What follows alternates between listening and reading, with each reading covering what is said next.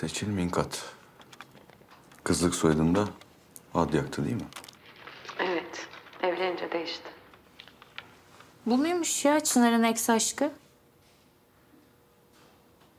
Yani ifadesi alınan şahıs. Anlat bakalım Seçil. Bir yerden mi kaçtın? Vücudundaki darp izleri nasıl oluştu? Kim yaptı? Kocan kim bebeğine ne oldu? Bütün bunlara kocan mı sebep oldu? Hayır. Hayır. Hayır. Hayır. Seçil iyi misin? Bir su içmek ister misin? Hı? Birazcık su iç.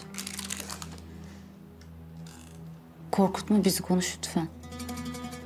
Konuşursam beni öldürürler.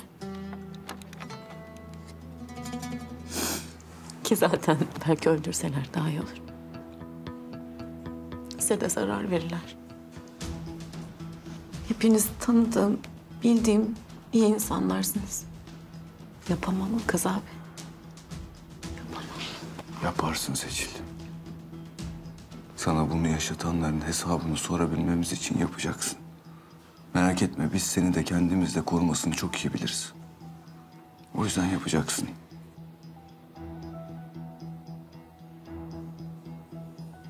Ben yetimhanede büyüdüm. Yani sevgi evinde. Orayı biliyorsunuz zaten. Orada annelerimiz vardı. Yani hiçbirimizin gerçek annesi değildi tabii. Ama öyle seslenirdik. Gönüllü gelirlerdi. Bizim gruba Necla anne bakardı. Çınar'la yeni ayrılmıştık. Necla anne. Sizden de kopmuştum yıl. Üniversiteyi kazandığımı öğrenmiştim. Açıklandı mı kız? Kazandım. Fizik mühendisliği. Hadi gözümüz aydın.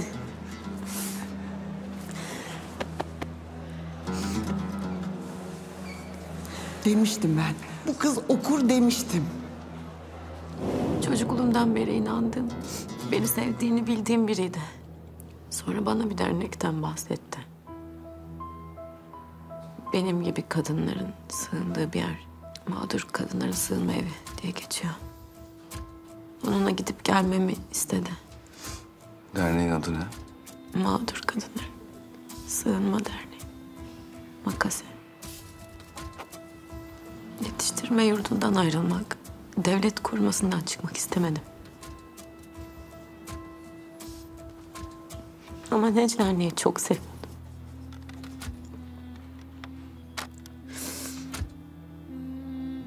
Üniversiteye başladım. Bana hep harçlık verirdi. Yani arada destek olmak için. Ben de altta kalmamak için ona yardım ettim. Nasıl bir yardım bu? Elimden ne gelirse. Temizlik, yemek. 18 yaşına girmek üzereydim. Yetimhaneden ayrılmam gerekiyordu. Sonra Necla annenin evine geldim. Bir oğlu vardı. Tankut. Benden büyüktü. Şimdi 33 yaşında falandır. Sevgili olduk. Yemek hazır. Hadi gelin soğutmadan. Geldik geldik. Ne kokmuş anne be. Söyleseydiniz ben kurardım sofrayı. Otur kızım sofra hazır. Güzel gel ya. Otur otur Gel. çekinme. Gel şöyle yanıma. Nazar değmesin. Maşallah. Acıkmışım vallahi. Ye güzelim ye. Afiyet olsun. Aşık oldum. Bir yuvam olacak sandım. Ne derse, ne isterse yaptım. Beni bırakmasın diye. Beni sevsin diye. Her şeyi yaptım.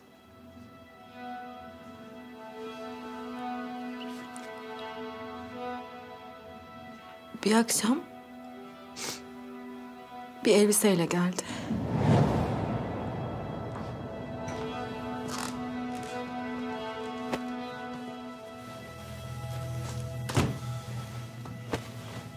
Hayırdır bu ne?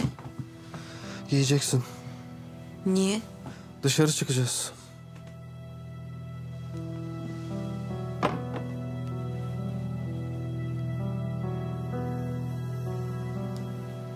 Müzesi oğlum bu. Giymem ben böyle salak salak şeyler. Sağ ol. Giyeceksin dediysem giyeceksin. Manyak mısın ya? Hayır. Giyeceksin dedim. Tamam. Tamam. Kafamı bozma benim.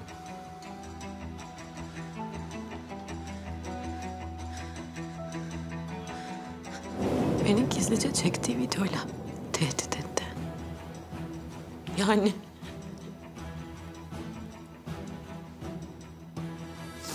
Bizim yatakta olduğumuz hani.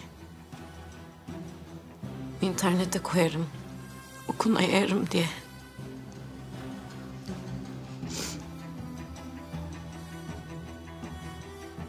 Necla anneye söyledim. Meğerse o zaten biliyormuş.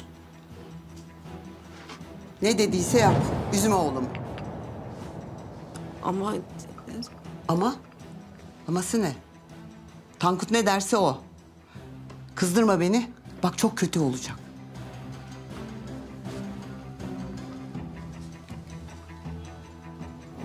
bu saatten sonra artık onların kölesi olmuştum resmen. Ne derlerse yaptım. Zaten bir süre sonra da yalnız olmadığını gördüm.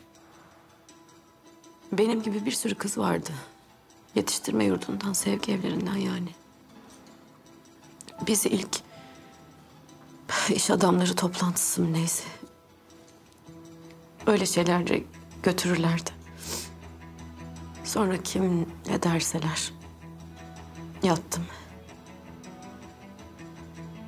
Bunların içinde iş adamları, siyasetçiler, ünlüler. Ya biz kıskanç bir sevgili durumu zannederken olan şeye bak. Ah be yavrum ya. Gelip kapımızı çalaydın ya. Çantamızın tokasında kamera vardı.